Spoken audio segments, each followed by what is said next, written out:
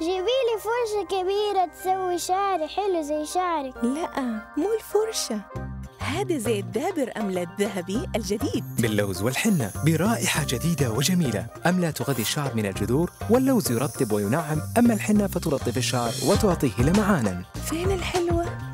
ماما شوفي. الشعر الجميل يستاهل فرشة أكبر.